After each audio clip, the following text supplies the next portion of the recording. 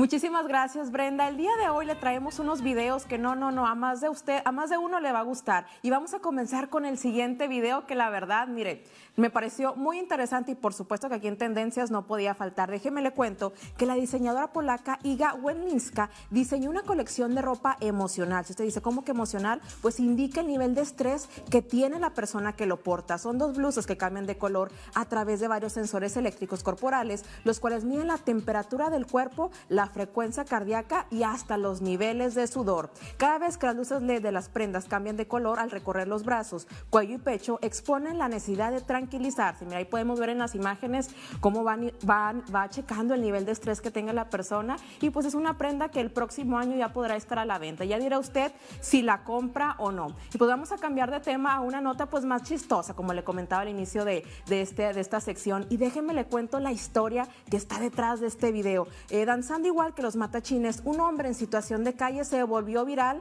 en las redes sociales. Fue a través de Facebook donde se viralizó el video de un indigente que se unió a una peregrinación pues dedicada a la Virgen de Guadalupe. Se observa que el joven comienza a imitar los pasos de las jóvenes que van bailando por la calle. Esto pues mientras es grabado. Pero vamos a ver aquí un fragmento de este video.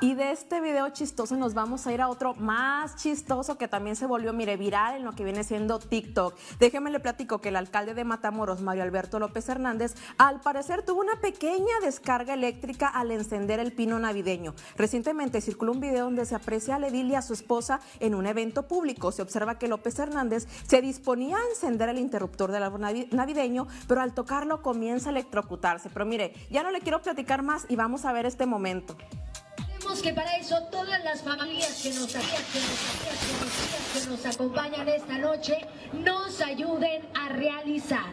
Así que, estando listos, que para eso todas las familias que nos, que nos, que nos acompañan esta noche nos ayuden a realizar.